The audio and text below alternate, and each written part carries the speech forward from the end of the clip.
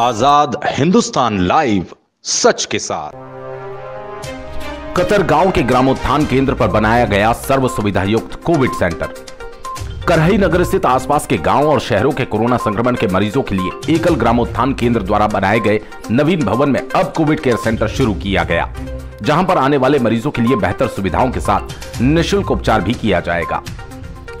समीप बौथियापुरा कतरगांव में एकल ग्रामोत्थान केंद्र पर कोरोना महामारी से बचाव के लिए मानव सेवा के लिए कदम बढ़ाते हुए एकल सेवा केंद्र पर कोविड केयर सेंटर का शुभारंभ अतिरिक्त तहसीलदार राहुल डाबर, प्राथमिक स्वास्थ्य केंद्र के medical officer doctor Sanjay Pawar, doctor Akash Patidar, Karhai नगर परिषद सीएमओ प्रियंक पांडे, अध्यक्ष अजीत जी छाजेड़, उद्योगपति और वरिष्ठ समाज सेवी प्रवीण जैन बागोत कोषाध्यक्ष जितेंद्र गोड़, केंद्रीय सह योजना प्रमुख दिलीप वडीना लच्छीराम नागरे ने किया ज्ञात हो कि एकल ग्रामोत्थान केंद्र द्वारा इस कोरोना काल में भी पिछले वर्ष से ही लगातार सेवा कार्य किए जा रहे हैं। केंद्र के दिलीप वाड़ीवा ने बताया कि कुछ महीने पूर्व ही नया भवन बनकर तैयार हुआ था। इस भवन में जरूरतमंद बच्चों के लिए कंप्यूटर कोचिंग, महिलाओं के लिए सिलाई केंद्र, ब्यूटी पार्लर के निःशुल्क कोर्सेस आदि शुरू करना थे। पर कोरोना संक्रमण को देखते हुए नवीन भवन में कोविड मरीजों के निःशुल्क उपचार के लिए कोविड केयर सेंटर की शुरुआत की, जिसमें होम आइसोलेशन वाले जरूरतमंद मरीजों का निःशुल्क उपचार किया जाएगा। केंद्र में पंद्रह बेड की व्यवस्था की गई। अनुभवी डॉक्टर की टीम के साथ ही मरीजों के लिए oxygen concentrator machine, oxygen cylinder, दवाइयाँ, भोजन एवं मरीज़ के साथ एक परिजन के रुकने की व्यवस्था रहेगी। इस दौरान सुमित सेन, राजा राठौड़ शैलेन्द्र शर्मा, सुमित कौशल, राहुल सेन, हरिराम यादव, नंदकिशोर सेंगर, रितेश शर्मा, प्रेमचंद वर्मा आदि उपस्थित थे। करही से रुपेश डाकोलिया की रिपोर्ट। एकल कोविड केयर सेंटर में क्या क्या व्यवस्थाएँ मरीजों के लिए उपलब्ध रहेगी? सभी को मेरा प्रणाम। यह हमने एकल ग्राम उत्थान फाउंडेशन के तहत एकल सेवा केंद्र स्थापित किया है। यहाँ पर हमने पंद्रह बेड लगाए हैं। ऑक्सीजन की व्यवस्थाएँ रहेंगी। भाप की मशीन रहेगी।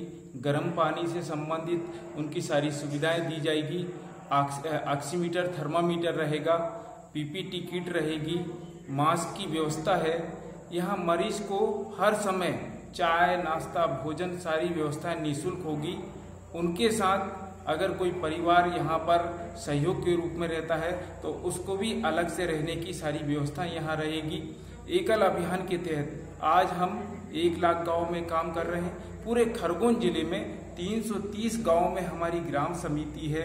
संच समिति है, अंचल समिति है और ऐसे समिति पदाधिकारी, साथ ही सेवावृत्ति कार्यकर्ता जो सेवा के क्षेत्र में हमेशा एकल अभियान में लगे हैं, ऐसे कार्यकर्ताओं को हम यहाँ पर वो, जो भी कोरोना से संबंधित अगर वो ग्रस्त होते हैं डॉक्टर उनको सर्टिफाई करता है, ऐसे मरीजों को हम यहाँ पर आइसोलेशन की व्यवस्था करेंगे।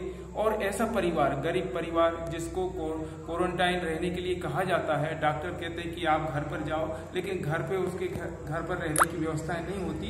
लेकिन ऐसे सभी हमारे ग्राम समिति के हों समिति अंचल समिति के हों, संच समिति के हों, सभी पदाधिकारी सेवावृत्ति कार्यकर्ताओं को यहाँ पर उनकी सारी व्यवस्थाएँ की जाएगी और इसमें डॉक्टर्स की व्यवस्थाएँ क्या है? क्या रहेगी डॉक्टर्स हाँ डॉक्टर की व्यवस्थाएँ। हमने पैरामेडिकल से संबंधित जिन्होंने कोर्स किया है ऐसे युवाओं का सहयोग हम ले रहे हैं। साथ ही हमने आरोग्य हेल्पलाइन नंबर हमने यहाँ पूरे देश में चालू की है। वहाँ पर हमारे साथ अनेकों doctor homeopathic doctor ayurvedic doctor allopathic doctor जुड़े हुए हैं। साथ ही स्थानीय स्तर पर हमने हमारे प्राथमिक चिकित्सा केंद्रों के सरकारी डॉक्टरों का भी सहयोग लिया है प्राइवेट डॉक्टरों का भी सहयोग लिया है। ऐसे सामाजिक क्षेत्र में जो डॉक्टर काम कर रहे हैं उनका भी यहाँ पर वो आएँगे अपने समय समय पर सहयोग करेंगे। धन्यवाद। आपका शुभ नाम? दिलीप बाडीवा एकल अभियान का मैं कार्यकर्ता हूँ। केंद्रीय प्रभाग प्रमुख का दायित्व है साथ ही एकल ग्राम उत्थान में एक केंद्रीय सह योजना प्रमुख का दायित्व है।